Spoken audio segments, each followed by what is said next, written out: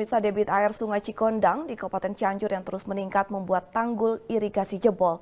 Akibatnya setidaknya 1000 hektar lahan pesawahan di 9 desa kecamatan Cibeber yang sudah ditanami padi terancam kekeringan. Pasalnya sungai tersebut merupakan satu-satunya sumber mata air para petani untuk mengairi pesawahan mereka.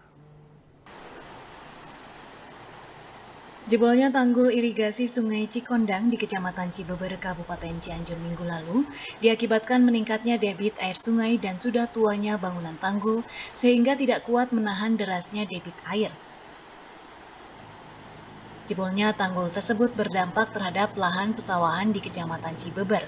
Setidaknya 1000 hektar lahan sawah milik warga di 9 desa di Kecamatan Cibeber yang sudah ditanami padi dengan usia tanam sekitar 2 bulan terancam gagal panen. Pasalnya, Sungai Cikondang merupakan satu-satunya irigasi utama yang sangat diandalkan para pemilik lahan sawah. Salah satu petani mengaku khawatir sawahnya tidak bisa mendapatkan pasokan air dari irigasi pasca jebolnya tanggul irigasi Cikondang. Apalagi saat ini masa tanam padi sedang dimulai kembali. Meskipun saat ini musim hujan, jika tanggul irigasi jebol, air tidak bisa tertampung untuk mengairi pesawahan pada petani semua kekeringan. Kekeringan. Jadi kekurangan A. Dan air. Iya, tetap yang petani sawah itu harus ada air dari irigasi. Terancam gagal nggak Pak? Nah, Terancam gagal panen ya? Ya, bisa ya. bisa jadi.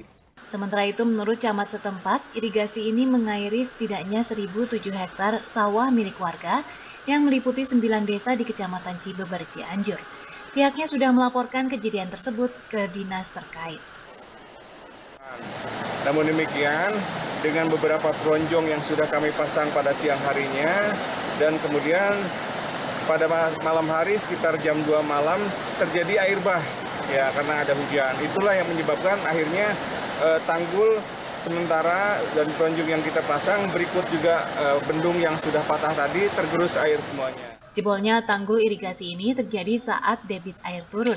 Pihaknya bersama pihak lainnya berupaya dengan memasang bronjong.